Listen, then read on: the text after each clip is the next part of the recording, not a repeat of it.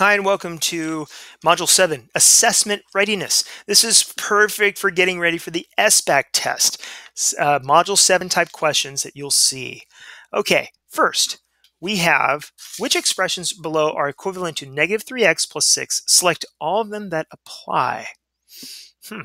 Okay, well, what I did is I wrote all of these down. I wrote this down here because there's really just not enough room on the paper to show you all of this. So I wrote each of these down. I'll start with the first one.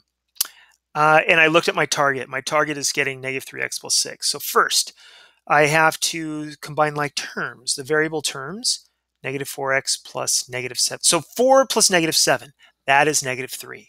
So putting these two together right here, that's negative 3x. Okay, so far, so good. Now I have uh, 2 plus 4 and 2 plus 4, that is definitely positive 6. Plus 6, it looks like that one's a go.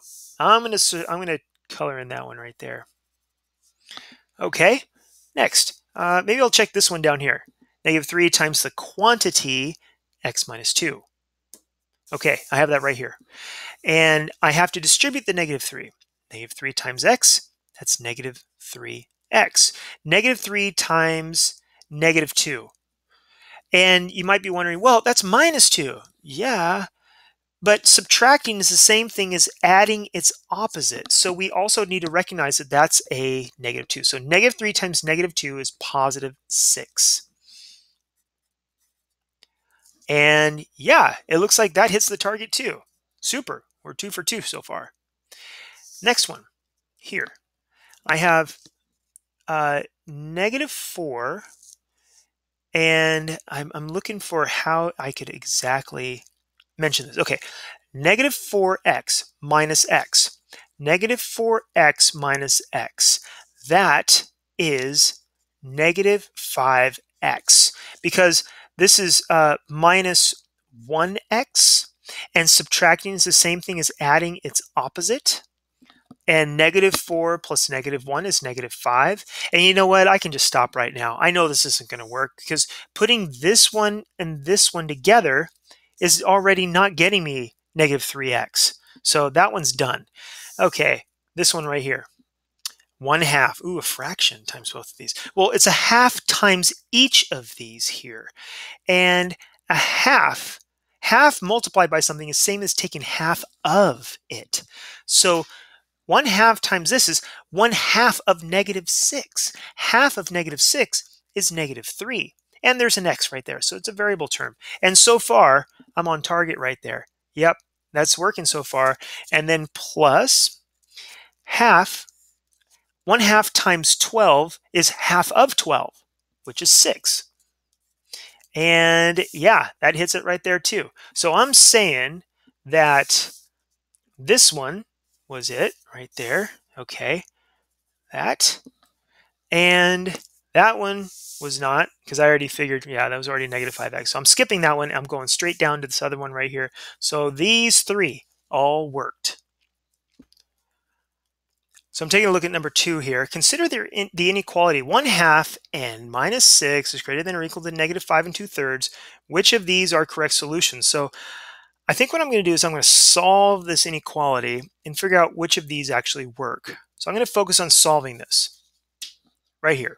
I wrote down the same inequality right here, and now I'm going to do it on paper. Um, first thing I have to do is I have to add 6. Hmm, this is going to be kind of tricky. These are different signs. I have to subtract these. So for now, I'm going to have to put 6 on top, minus 5 and 2 thirds. 6. 6 is the same thing as 5 plus 1. And 1 is the same thing as 3 thirds. So this is 6 is the same thing as 5 plus 3 thirds. I hope that you would agree. And I did this because I need this to be able to subtract these two. So instead of 6, Instead of 6, I'm going to write 5 and 3 thirds because 5 plus 1 is still 6. All right? So when I subtract these, it's going to be, uh, well, that's zero right there. And three minus two is one third. Okay, so what I have so far is negative five and two thirds plus six is that one third. Now I have, what do I have? This is canceled out. So 1 half n is greater than or equal to 1 third. And this, there are several ways of looking at this. I pause for a moment. One way is seeing that n, 1 half n is the same thing as n over 2 because 1 half times n over 1 equals n over 2. See, I'm, I'm, when you multiply these to get together, you actually get this as well. So I put these together and I changed it so it looks a little bit easier to know what to do. If I'm dividing by 2 here, I have to multiply 2 times 1 third to get my solution for this. So n is greater than or equal to 2 times 1 third. 1 third times 2 over 1, that's going to be 2 thirds. So what this is saying is anything larger than two thirds is going to work in our original inequality. And this saves us a little bit of time, believe it or not. So now, n has to be larger than two thirds, or it can be equal to two thirds. So is negative 4 larger than 2 thirds? No, that is false. But n could be equal to two thirds. So yeah, it could be two thirds. I'm good with that. True. And larger is two and a half larger than two thirds. Yeah. I mean, this is even smaller than one, and that's two and a half. That's certainly larger than two thirds. So there you go. Okay. In this one, Darian wants to run more than five miles a week. So far, he has run two and three fourths miles. Write and solve an inequality to determine how many more miles Darian has to run to meet his goal. I have this. The inequality is this. He has uh, this is how many miles he has to run plus two and three fourths. It has to be greater than five. This is the inequality. So when it says write in, write an inequality to determine how many more miles he has to run, well, he he wants to run more than five miles. So all of this, how much he runs, has to be greater than five miles. Okay, he's already run two and three fourths miles, and we have to add to that how many more miles he needs to run to reach his goal. So the miles he reaches, uh, miles he needs to run, plus what he's already ran, has to be greater than the goal of reaching five miles. So uh, m is the number of additional miles he has to run, and m is greater than 2 and 1 fourth. And I get that by solving the inequality. I have to subtract 2 and 3 fourths. And I get m is greater than uh, 5. I'm going to do the same kind of trick as I did up here. Um, 5 is the same thing as 4 plus 1. 4 plus 1. So 4 kind of plus 1. Uh, and 1 is the same thing as 4 fourths. So this is going to be 4 and 4 fourths minus 2 and 3 fourths. Okay, so I'm using that same trick. 4 minus 3 is 1 fourth. 4 minus 2 is 2. So that's how I got the m is greater than 2 and 1 fourth. And that's right here. Uh, so Darian must run more than 2 and a fourth miles.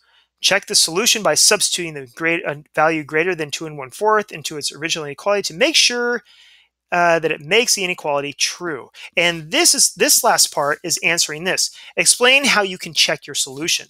And that's what it is. To check your solution, you choose something that's larger, greater than 2 and 1 fourth, and you plug it into the original inequality, which is this, to make sure it's true. I'm not going to do that, but you could. So this one. The owner of a miniature golf course plans to spend no more than $300 on supplies. Golf balls cost $6.30 per dozen, and putters cost $10.95. The owner decides to buy 10 dozen golf balls. Can the owner afford to buy 20 putters? Write and solve an inequality to justify your answer. So, I'm saying yes. he does have enough money to buy 20 putters. The situation can be modeled by the inequality of this. And how do I get this? Well, uh, he wants to spend no more spend no more than $300 which means 300 is the greatest amount that you can spend all the money that he spends right here has to be less than or it could be equal to 300 so that's it. That's what it's saying in this whole statement right here. That's how I know that this has to open to the 300 and this has to be the money that he spends. So uh, golf balls cost six dollars thirty cents and he buys 10 of them. So this times this will tell you how much money he spends on that. And putters cost ten dollars ninety five cents times P for the number of putters he buys. So P is the number of putters the owner can afford. And the solution of the inequality, uh, I'm going to show you right here. So I have the inequality rewritten here, and I'm going to solve it. $6.30 times 10. That multiplying by 10 just moves the decimal once over there. So $10.95 times the number of putters plus $63, which is how much you spend in golf balls, has to be less than or equal to $300, which is this maximum budget. If you subtract 63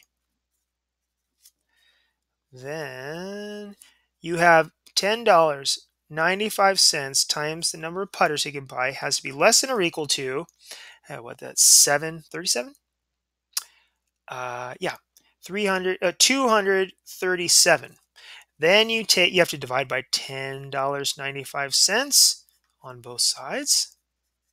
And p has to be less than or equal to uh, when you do this and you round to the nearest uh, hundredth right there because we're dealing with money, you get uh, what 237 divided by $10.95 is $21.64. $21.64. So that means he could buy 21.64 putters and or fewer. And so since you, since you can't buy 0.64 putters, he can the the owner can afford to buy 21 putters or fewer. And the question was, can the putter can the owner afford to buy 20 putters? Well, yeah, he can afford to buy 21 if he wants. And so there you go. That's what you got to know about the Module 7 assessment readiness. Thank you for watching.